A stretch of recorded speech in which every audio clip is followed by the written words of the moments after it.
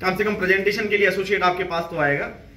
Allrounder नहीं बन सकते, लेकिन बेस्ट बैट्समैन तो बन जाओ। नेशनल टीम में ज़िंदा रहोगे। तो अगर ऑलराउंडर बन गया तब तो बात ही नहीं रही मेरी बात समझ में आ रही है आपको? अब इसके लिए आप कितना प्रयासरत हो ये चीज़ देखना स्टार्ट करो कि जब आप प्रेजेंटेशन ले रहे हो तो गेस्ट के चेहरे को ऑब्ज़र्व करो यार कि गेस्ट वाकई में कंफर्टेबल फील कर रहा है कि नहीं फील कर रहा है। मैं ज़बरदस्ती बेचारा बैठा है इधर उधर इधर उधर देख रहा है कब छोड़ेगा इंसान? बिकॉज़ वो आपके साथ उसको अच्छा नहीं लग रहा है। They not feeling well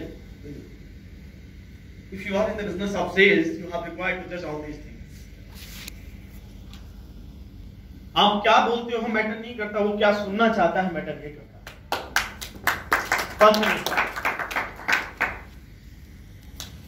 हमारी बात समझ में आवे है ना आवे?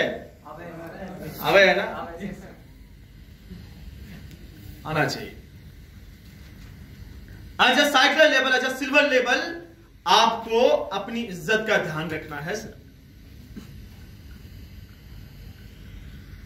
मेरी बात समझ में आ रही? Your dressing sense should be like this कि मतलब पीपल या associate will copy you associate can copy you